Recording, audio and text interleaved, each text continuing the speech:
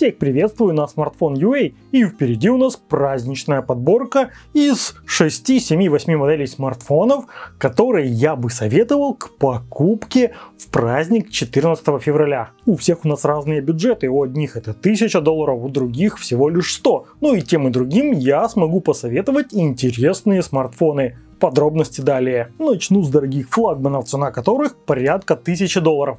Тут всего два варианта, как по мне, iPhone 12 и Samsung Galaxy S21 2021 года. Эти смартфоны интересны камерами, производительностью и незаурядной внешностью. Пройти мимо них на полке магазина не получается никогда, по крайней мере у меня. Так что советую в топ-сегменте именно их. Но если рассчитываете на бюджет до 10 тысяч гривен, это порядка 350-300 долларов, то это Realme 7 Pro или Oppo Reno 4 Lite. Второй, правда, на полторы тысячи дороже, но у обоих по 8 гигабайт оперативки и 128 гигабайт встроенной памяти а еще много классных камер, большие экраны и производительности, которой хватит для любых задач. Перехожу к бюджету 200 долларов. Здесь также присутствует устройство от Realme, Realme 6, 4 гигабайта оперативной памяти и 64 встроенной. На одном уровне с ним идет Oppo A52, он стоит чуть-чуть дороже, у него чуть-чуть больше батарея, но совсем другой процессор, не игровой как бы. Детальный обзор Realme 6 смотрите у меня на канале. Я разобрал его от сих до сих. Ну и последний сегмент 100 плюс-минус 10-20 долларов.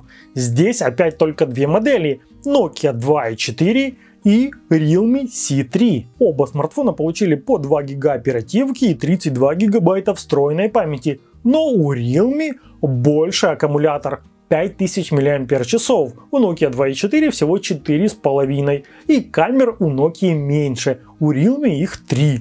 Это я про основные, ведь есть еще и фронтальная. И даже в таком бюджетном сегменте у этого смартфона 6,5 дюймовый дисплей. Так что если любите смотреть фильмы или играть, но ограничены в бюджете, тогда выбирайте Realme C3. На этом все. Но если вы спросите, а почему в твоем рейтинге нет ни Huawei, ни доступных Samsung, ни, например, Xiaomi, расскажу.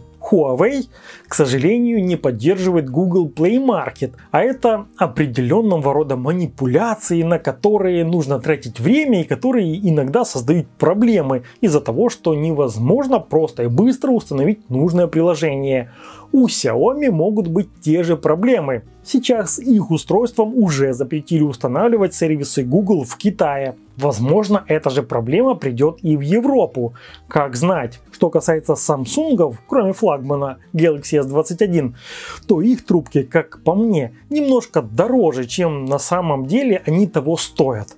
Так что советую ограничиться теми брендами, которые я перечислил в списке. Ссылки на все модели доступны в описании к этому ролику. Переходите, выбирайте и отличного вам праздника!